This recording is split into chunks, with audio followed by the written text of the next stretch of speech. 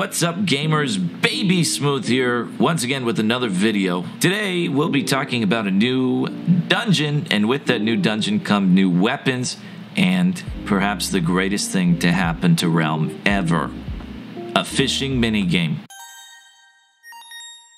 So, how the dungeon works there are three different bosses. Depending on the order that you get them, you will have to fight one to two to three phases of them.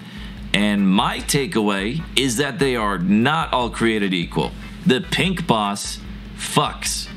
And that's because each boss has a specific effect, especially during the lantern phase.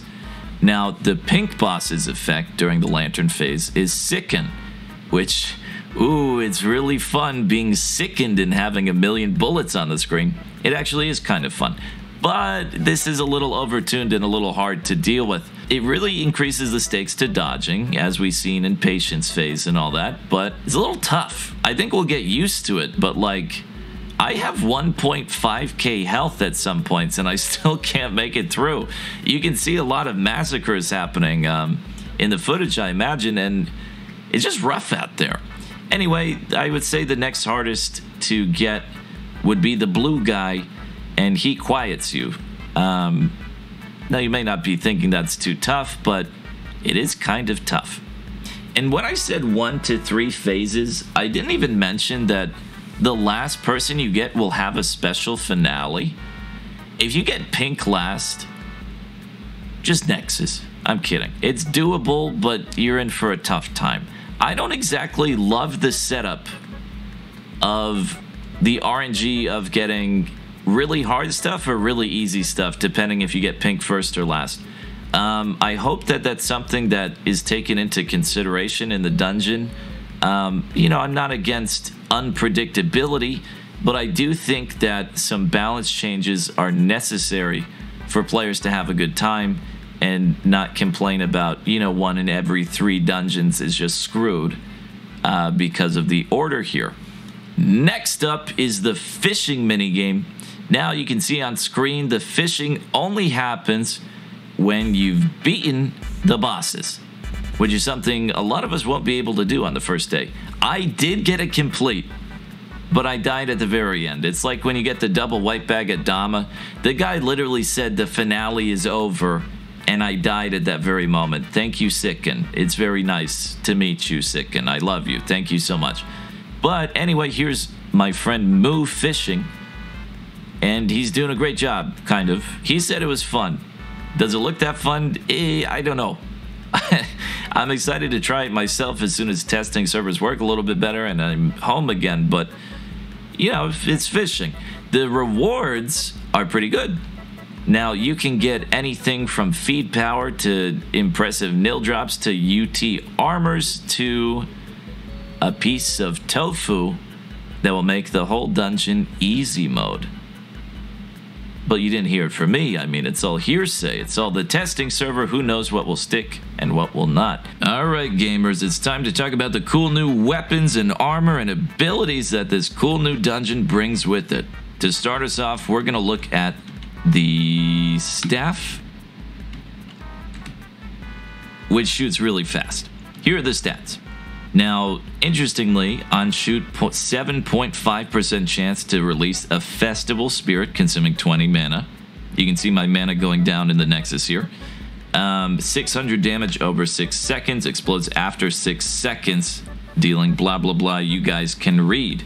Uh, listen, if you're thinking that this looks like the wand from the cemetery, you're right.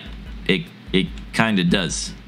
And, you know, they kind of act in a similar way, where they go and they explode on things. Next up, we'll talk about the flower flowering kimono. Uh, on ability use, it summons another spirit, but this one heals your homies. And that's pretty nice. You know, it says it synergizes with other spirits. I don't know, you know, if we're supposed to know what the heck that means just yet, but all of these armors, all of these things say that they will synergize with other spirits. Um, I don't know if that means that, you know, the healing will synergize with another healing spirit or not, but uh, who knows? Now, an interesting thing about this staff that you might have missed is its rate of fire 160%. Do you know what I think of when I think of a high rate of fire on a staff? Ta da! Let's take a look at this. And then let's take a look at this. And then maybe let's take a look at this. And oh my god, is a new meta gonna be born? You shoot so fast, it's kind of ridiculous.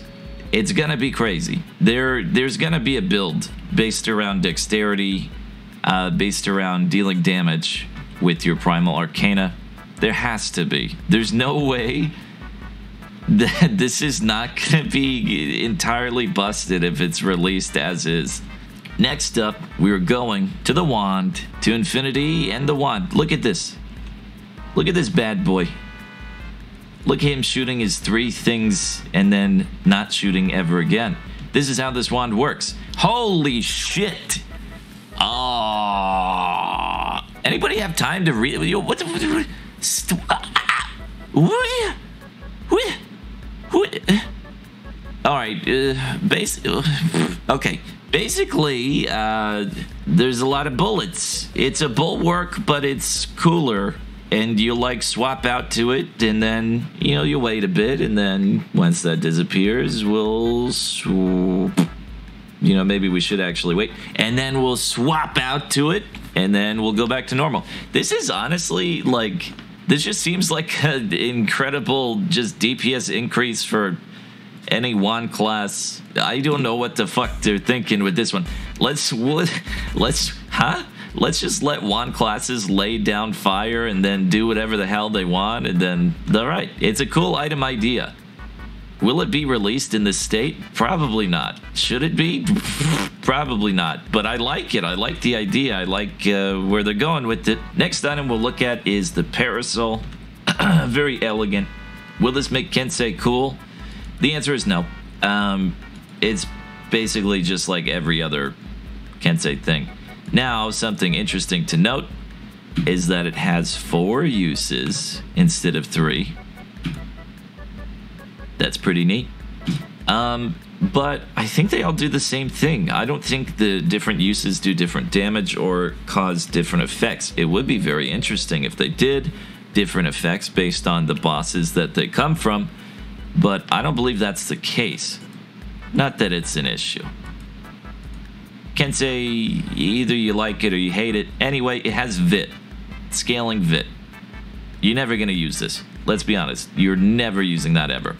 Now, you might be wondering about the armor, so I guess we'll go look at that real quick to sate your curiosity. 40 MP cost to summon a controllable friendly spirit, which impedes enemies. Now, does anybody know what the hell impedes enemies means? Do you like seeing what you're doing? Do you like knowing what the hell is going on? Then do not touch this dagger mixed with this poison. You will it's it's just the 4th of July. Imagine understanding what is happening. Anyway, this dagger is really cool. Once again, a lot to read. Deck is going with the uh, tried and true method of giving us a dictionary for every new item, but at least they explain themselves. I don't know. This is an EP, but it's also not an EP. I imagine this sword will be good. Sorry, this dagger. I imagine it's going to be pretty good. Although, who's to say it is a dagger? When is the last time a dagger has been good? Hopefully, it's right now. Please? I want this to be good. I want to believe. It kind of looks like a penis, though. Do you, do you see it? Balls and wieners. Next, Deca Games has done the unthinkable. They're making the Huntress kind of cool. And I want nothing more than to show you how cool the Huntress is in a Lost Halls. Apparently, I just, you know, I found it. The idea is you hold the ability, rain falls three tiles away in the direction of your cursor, and it drains your MP. But why the f is it not doing anything? Now, this armor, some people are excited about it. I probably never gonna use it. It's minus 15 speed. That's that's your effect. Some people want that. Now, it also gives leather armor wearers you know, a nice curse effect. which is nice. Whenever they use their ability, they can curse. You know, it's making up for gaps in team composition and all that. That's cool. What's not cool to me is being a Huntress with 40 speed. I usually play with auto fire. I'm not going to end up using this armor. And that wraps it up here for all the new content. I'm really excited to see a little bit more of it. I'm excited to sink myself into it a bit more. I like this more than the Steamworks, honestly. I think this is generally good game design with a few phases that do a, like way too little damage and a few phases that are just uh-uh from me. Um, so it'll be interesting to see how they change the balance. I think there's a little bit to be done here. And uh, I'll see you next time, guys. Thanks for watching.